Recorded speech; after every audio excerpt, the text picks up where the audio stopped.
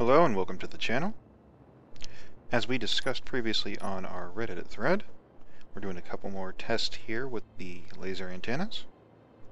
Now we've removed all the regular antennas from this map.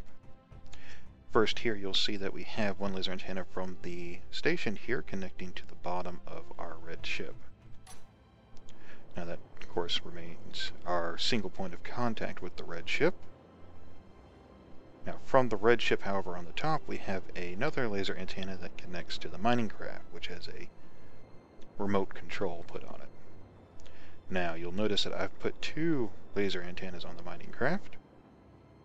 Now I've, I have noticed here in testing that after a while of not connecting, the one antenna will default to the reset position and not try to connect again. I don't actually have the time as yet. I will time that and upload that at a later date. Now, what I've been testing with it is to see if using the two antenna system we can maintain control of this craft remotely. As you see, as we rotate and break away, we lose that connection, and that is when it resets. This one will connect. We'll rotate again.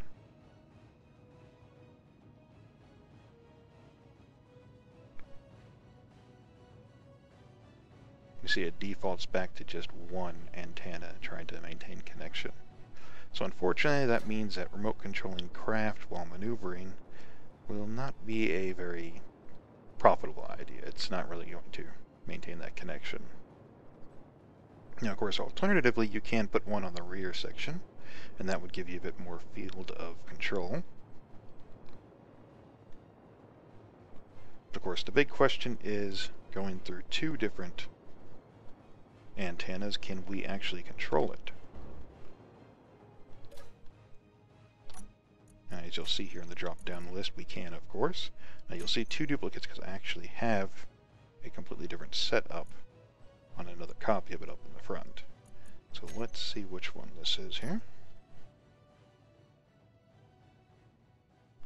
Good, this is the one we wanted. So as you can see, we can control the craft itself, maneuver it, Unfortunately, we will lose that signal in the rotation, and it will drift until the dampeners stop, of course. Now, as for the other duplicate, what we have here is two antennas on the craft and on the rear sections here, each one aiming at a separate antenna. So one goes to the top, the other one goes to the bottom. Now, we don't need to relay through the base for this, so we'll hop in over here. And we're going to test to see if this will help maintain that connection.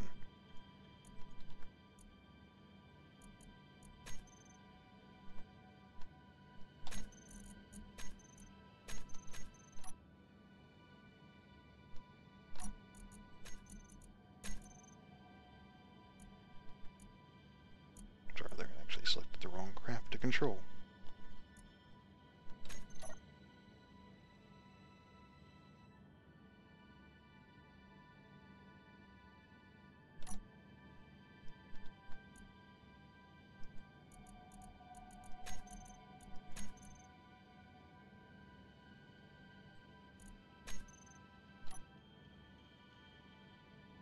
Alright, sorry about that. We had a bit of a hiccup in our system here. So, we have control of the craft at the rear, with one antenna aiming to each antenna on the craft. What we'll do is we'll rotate.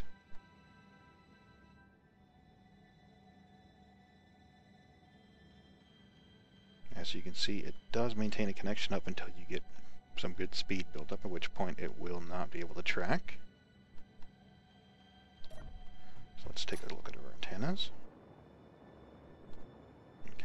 Neither of them have signal at this point. They are just outside of their connection range.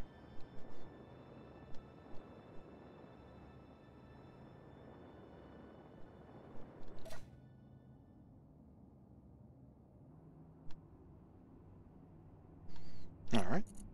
Now lastly, what we have to check is controlling turrets remotely. As you can see, we can remote connect to the large craft and control the turret. It operates just as if you were on the ship.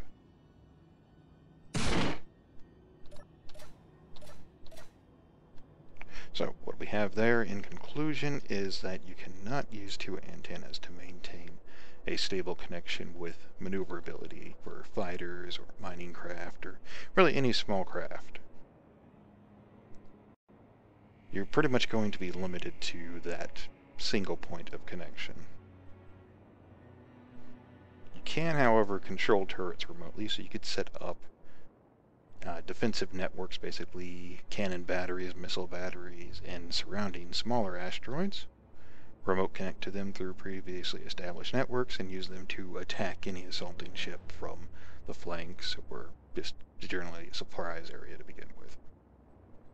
Alright, hope that was informative for you, and as always, have a good day.